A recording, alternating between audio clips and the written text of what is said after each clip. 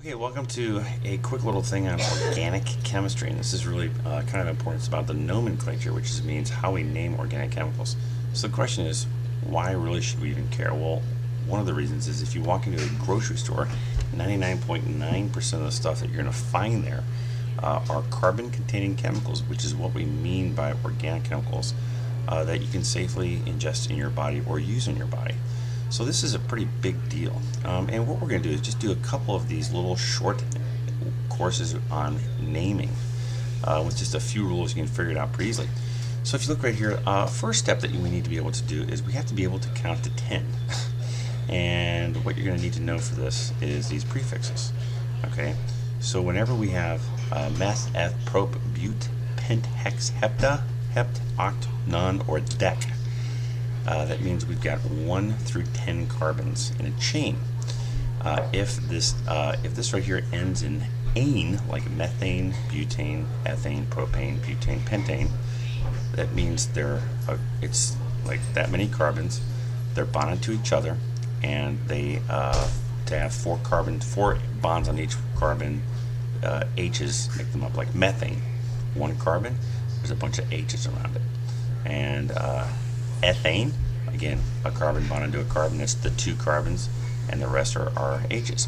Now, if we keep on doing this, um, we'll get really tired of drawing out all those H's, and so scientists tend to take a shortcut. Uh, and if you look right here, and I'll show some of these shortcuts, but one, this is one shortcut. So this is propane.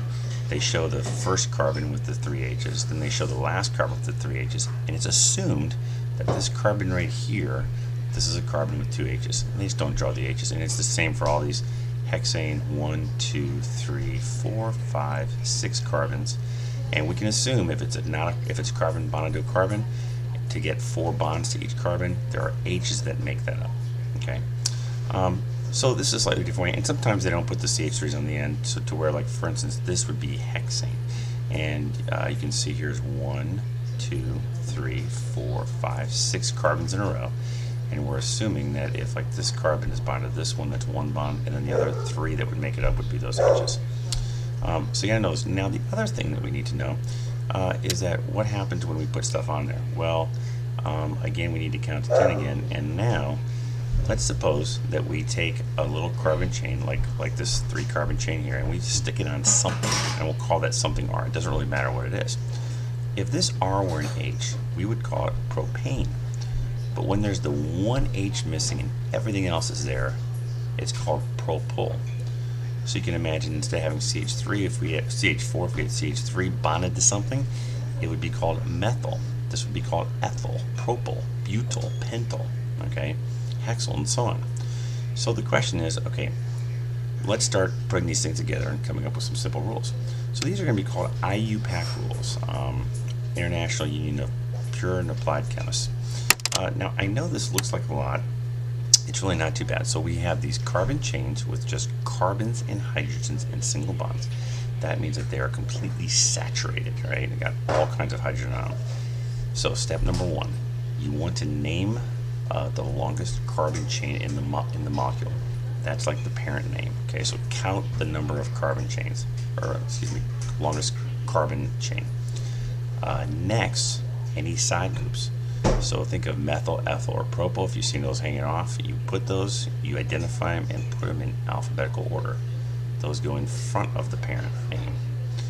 Um, if there are several groups attached, like let's say you have two methyls, instead of calling it methyl-methyl, we would call it dimethyl. And here are some, some prefixes, okay? And again, these prefixes, again, they look familiar. Remember, 1 through 10, okay? Then finally, we basically assign a number to the uh, to the um, groups that are coming off and to get that number we count the carbons in the chain and we find the lowest set of numbers and we also look for the first uh, point of difference so you always want to have the lowest set of numbers now I realize I would write these down because you need to have them by your side as we do some examples so let's take a look at some real quick. Um, I think this would be the easiest way to do it. Okay, so here we go. So this one right here, if I count, let's find the longest chain. Uh, longest chain is going to be this right here. If I count those carbons, I get one, two, three, four, five. Five carbons. Uh, and if I have five carbons there, there is um, the one, two, three, four, five.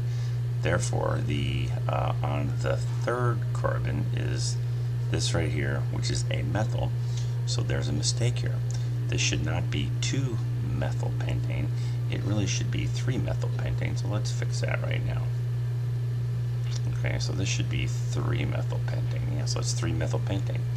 Um, and that 3 is not drawn very well, but I think you get the idea.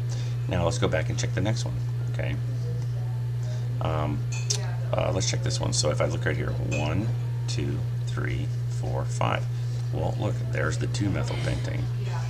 Okay, so this would be one, two, three, four, five. That's 2-methylpentane. Okay, so we had 3-methylpentane and 2-methylpentane. Uh, this one right here, let's see if we can figure out what this one is. Um, one, two, three, four, five, six. So we know there's a hexane. The first change is right here. Okay, the first change right here. So that's one chloro, two methyl, and those are in alphabetical order. So one chloro, two methyl goes to that one. Uh, three carbons right here. That's propane. Uh, now let's check this one out. Okay, let's find the longest chain. There is one, two, three, four, five, six, seven, eight. So it's octane. Uh, we also know, if we look at the groups there, we now have this one, which is ethyl, and then there's a methyl and a methyl here. So you go one, two, three, four, five, or you go one, two, three, four. First point is here, it's lower numbers. So that would, and, and again, ethyl comes before methyl.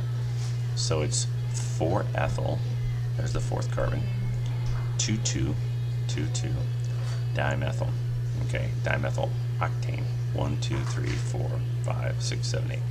Now, what I would encourage you to do now, uh, turn this off now and, and do some problems because that would be the best way to see it. Um, okay, so if you're back, quickly, let's take a look at alkanes and, and alkynes. Now, uh, sometimes we have what are called unsaturated hydrocarbons. And if we have unsaturated hydrocarbons, basically what we're finding is that we have a uh, double bond. So there's uh, one thing that could happen is these double bonds are called alkenes, ends in E and S. Okay, so this would be ethene. And we don't need to put a number that, we don't have to call it one ethene because it, it's the only place we can put it. This is called, not drawn very well, but this is called one, two. This is called th one, two, three, four, five. So this would be called two, two pentene. So here's one carbon, two carbons, and that should be a double bond. Okay. So again, try and try and do a few of these and, and see if you can do it. Um, okay, so now um, here, here's a another example. So now instead of um, instead of um, the double bonds, you could have a triple bond as well. So a triple bond right here, this would be called, instead of an alkene, it's an alkyne, ends in Y-N-E. Um, so they always end in Y-N-E. And uh, as an example, uh, there, instead of a double bond, it'd be a triple bond. So where you see ethyne, uh, there's the triple bond. Uh, here is one, two, three, four, five. Okay, five carbons. We know it's pentyne. We just have to tell us where it is. So it's one, two. It's two pentyne instead of one, two, three pentyne because two pentyne is a lower number than three pentyne. So we've done alkanes with alkyl groups on them, um, and we've done alkenes and alkynes. So at this time, again, best thing you can do, stop this uh, video right now, and uh, you have to practice. And then we'll come back and talk about a few other things.